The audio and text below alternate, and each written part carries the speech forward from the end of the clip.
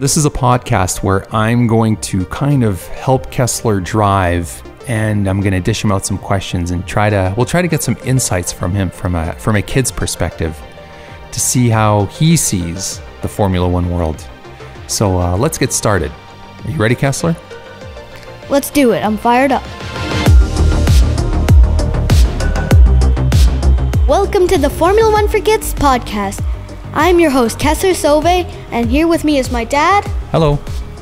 And today, we just finished watching the Montreal Grand Prix, so we're doing a recap. So, Kesler, this is your home race, Canadian Grand Prix. Not only that, but this is your first episode of your first podcast ever. How does it feel? That feels pretty good. Yeah? Nervous a bit? Yeah, Yeah, but excited at the same time? yeah.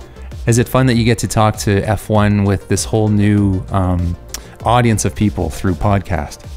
Yeah, it's really nice. And how did how did you get into F1? Um, my dad showed me Drive to Survive, which got hooked and started watching the Grand Prix with him. And then, yeah, we decided to make this podcast. That's one cool dad you've got. What is it about F1 that makes it so interesting and appealing to you? It's like the strategy plus, like, it's more like the strategy of, like, what kind of racers to pick and, like, like the strategy of the tires and, like, how long the pit stops will take. That's what I find interesting. Yeah. and a bit of the overtakes and I'd- the crashes. I'd, I'd ask you who your favorite driver is, and those of us, those those of you out there listening today won't be able to see him, but he's wearing a Max Verstappen Red Bull racing hat. So who's who's your is that your favorite driver? Yeah, And why is Max your favorite driver? he's really good. He seems to never get in trouble with the car, right? He seems to go through wet races or poor tire conditions and just make the car work for him. Yeah, Yeah. sometimes he crashes, like he did in qualifying on at Baku, but he doesn't do that that much.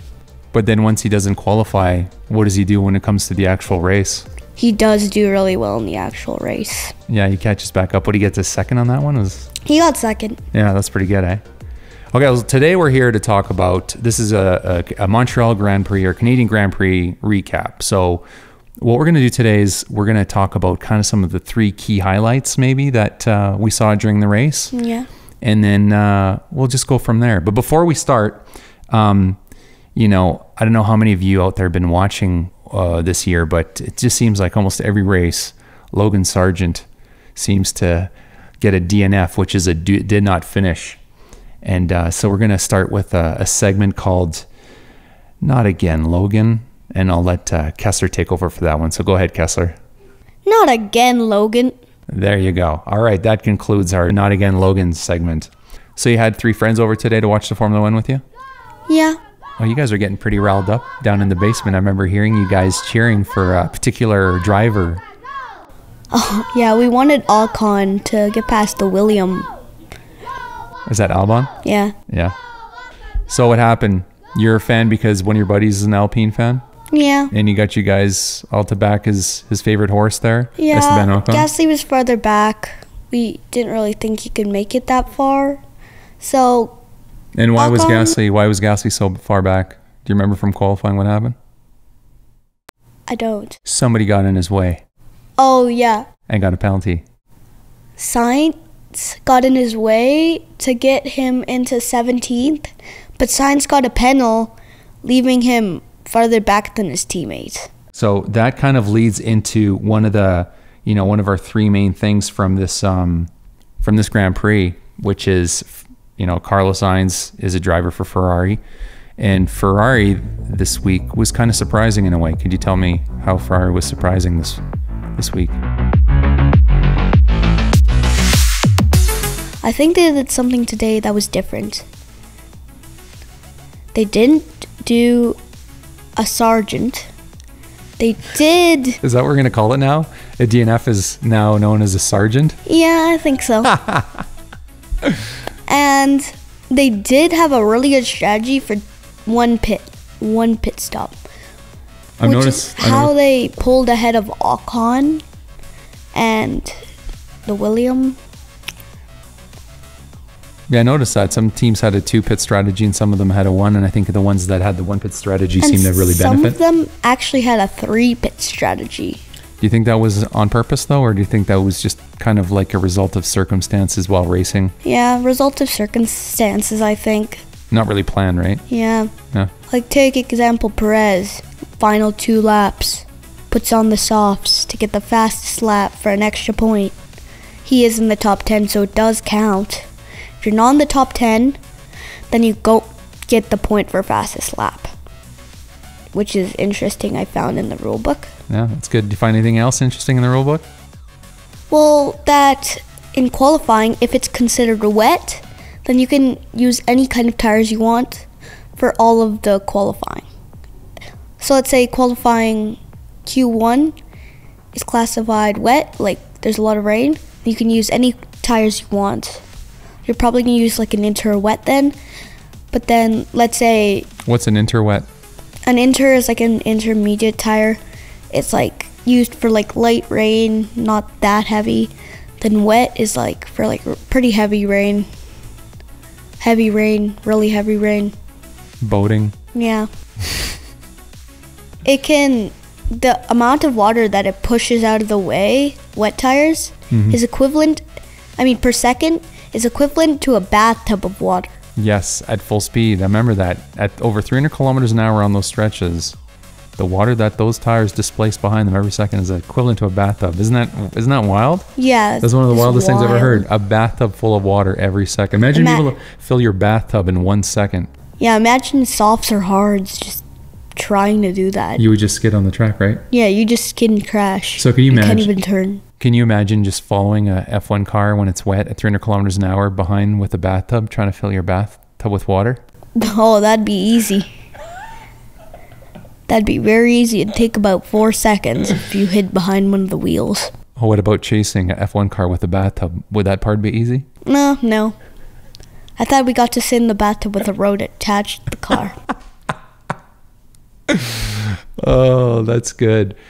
And then you know what? I think in a future episode we'll talk about the different compounds because there are what like we talked we talked about intermediate tires which used in light rain and then wet which are used when it's really raining outside. There's also soft, medium, and hard, and we can go into all that, but we're gonna save that for future episodes. I think one of the biggest biggest things of this Grand Prix was just Alexander Albon's defending. yeah, Like he had four cars within, you know, half a second of each other behind him. He was leading the DRS train.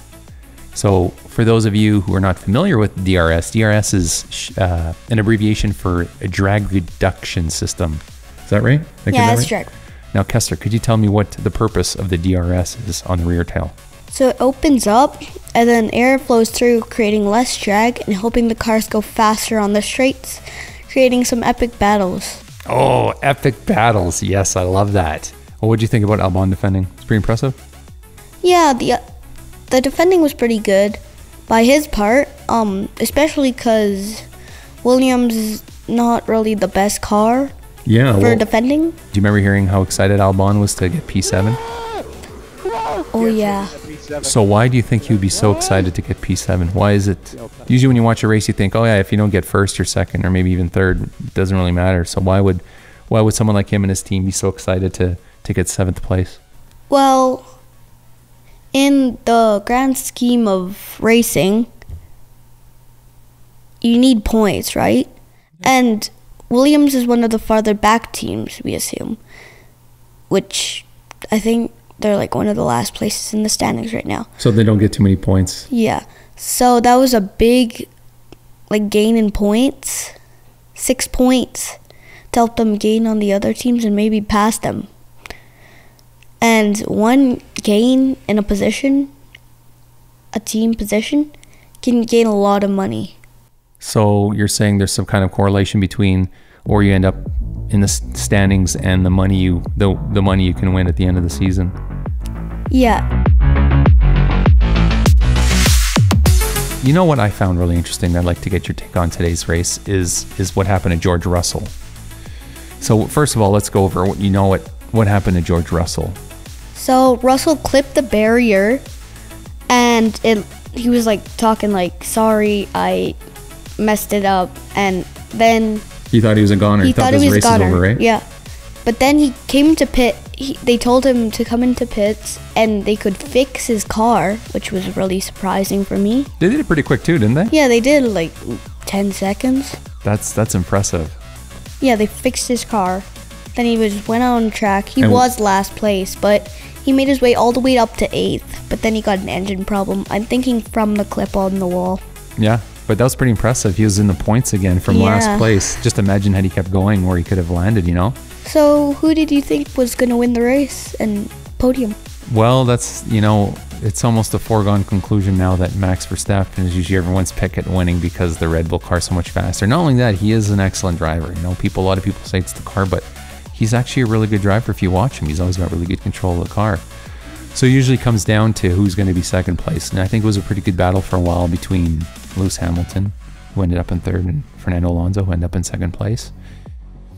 But um, sometimes you're thinking, you wonder if, you know, something happens to Max's car, then that opens everything up for Alonso winning. And I think there's a lot of Alon- Alonso fans this year and who'd like to see yeah, him win. Yeah, my dad's an Alonso fan. I am an Alonso fan. And, And you know, want to know I why? Why?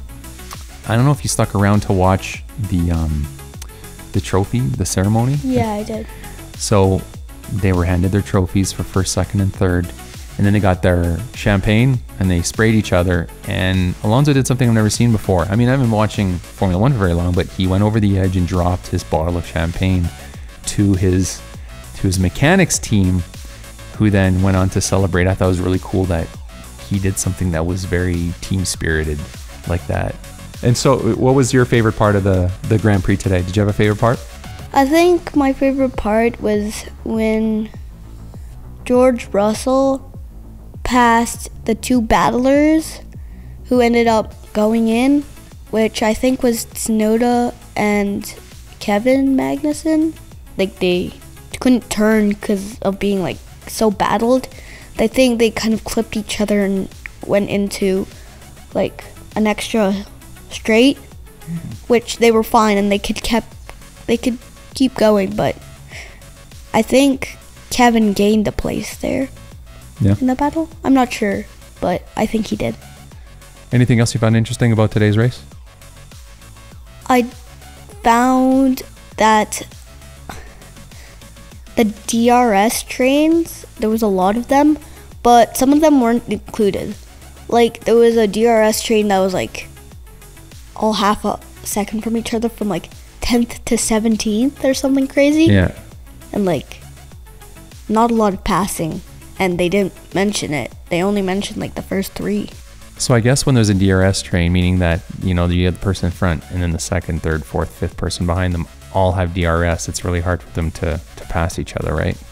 yeah And I- if you can't get past the first person in the train, then you're kind of stuck like that for a while, and that's why everyone was kind of praising Albon's defending today, right? Because he couldn't let anyone behind him pass, which is Ocon, if I remember. Right. yeah Ocon the Norris was also close behind the DRS train Yeah. he was like half in the DRS train half not And that's interesting. Speaking about Ocon and Norris, there was an interesting thing that happened between them near the end of the race. If you remember, was there something about Ocon's car? yeah Ocon's um rear like rear tail like was like wobbling a lot. So when he went to a tier when he went into a turn it was just like wobbling a lot. And then when he went on the straights i noticed when he has his drs it stopped wobbling that much. It was just wobbling like a little. But then once he got his drs closed it just started wobbling a lot again. And norris told that like said that and we're still waiting to hear what happens but it might be a penalty for Think it could be a penalty? I don't it think like it's gonna be a unsafe car? penalty, Yeah, I don't think it'd be a penalty too. It might. It might be like a one or two place What was so? What was Norris concerned about? What was his concern with the wing? that it was gonna snap off, like it was gonna wiggle, wiggle, snap, not wiggle, wiggle, wiggle. And what are the consequences if that happens? Getting like hit and having to get a new like front wing probably. Or even worse, have- the DNF. Like he could have, the wing could have hit him and just kind of went sailing over the car. What if it went under the car? And he could have gotten airtime. I mean, if the wing hit properly Oh, under yeah. that front wing of Norris, then he could have, you know, got some air. Oh, Dukes of Hazzard I think he probably would have crashed if that happened because they were like on a windy part of the circuit. So, like the windiest part, probably. well, things worked out. It didn't come off. Nobody got hurt. Yeah. No crashes. Just something we can laugh about now, right? Yeah.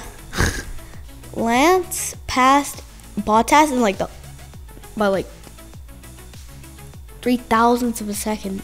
Oh, right at the finish Yeah, line there. right at the finish line. It was just amazing to see him right at the end, which gives Aston Martin, I think, more points than Mercedes in that race. So they're catching up. Yeah, that's good.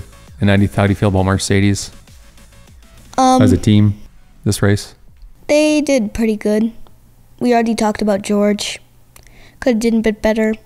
How about Lewis? Lewis, What does Lewis's outcome sh- show about the team? Lewis was pretty solid, battling with Alonso for a bit, but then Alonso finally able to get some time on him and stopping that.